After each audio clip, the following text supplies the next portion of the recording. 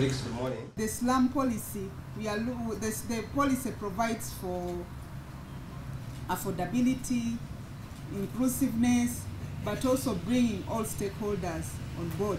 Because most of some of the slums belong to private people, others belong to government. So there is need of that coordination and working together to find a lasting solution on the slums. Because we are looking at high-rise buildings, and when we are to develop slums, high-rise, we cater for the high income, middle income, low income in a particular area.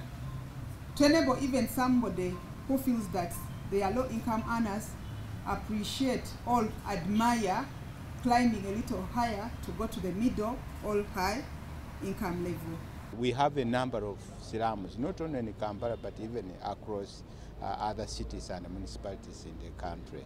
So we, we, touch specific areas, not necessarily all of them at a go.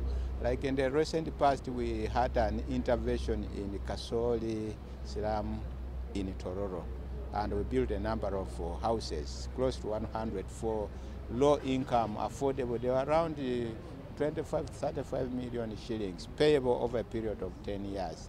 That is an intervention. Uh, previously, we had intervened in Namuwongo, in Kampala, Oli, in, uh, in Lila.